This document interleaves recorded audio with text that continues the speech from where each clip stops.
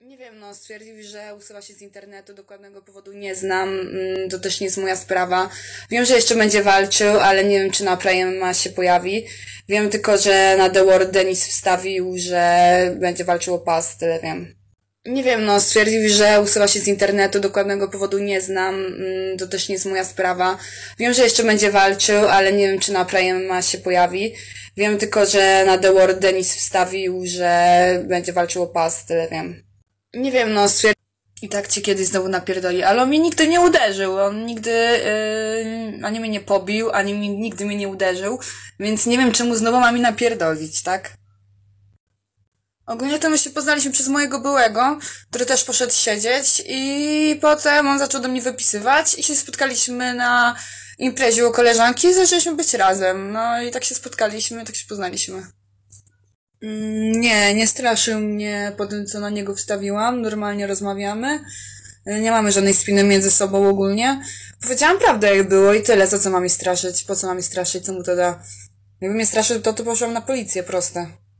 Jolka opowiesz o filmikach z twoim udziałem, które krążyły na YouTubie.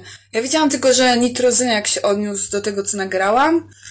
I więcej żadnych filmików nie widziałam, więc nie wiem do jakich filmików mam się odnosić, ale ogólnie no nic tam takiego złego nie mówili, no. Więc spoko. Jolka opowiesz... Ile usta kosztowały się pytają. Mm, nie, nie mieszkał u mnie.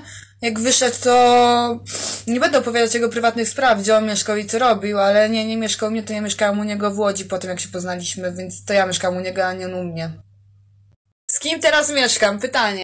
A skąd wiesz, czy mm, on dał mi te pieniądze, czy mi nie dał w końcu tych pieniędzy? A może po tych filmikach jednak dał mi pieniądze i żyjemy w zgodzie i wszystko jest dobrze, nie wiesz tego. Więc yy, i też nie wiem, co filmiki mają wspólnego z zadaniem pieniędzy. Ja też go pozdrawiam, kocham, tęsknię i czekam aż przyjedzie, więc zapraszam do mnie.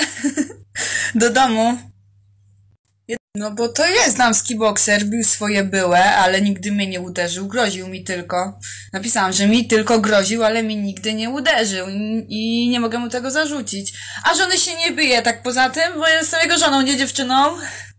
No bo to ale ja nie wiem, ja nie stworzyłam tej zbiórki, Adam też jej nie stworzył i ja dopiero po czasie się dowiedziałam, że ktoś stworzył zbiórkę y, na moje dziecko w momencie, kiedy ja już poroniłam i to z dwa tygodnie wcześniej. No to dla mnie to też był szok, więc to jacyś oszuści stworzyli zbiórkę i zbili na tym 10 tysięcy i się teraz cieszą, no. Co mam ci powiedzieć?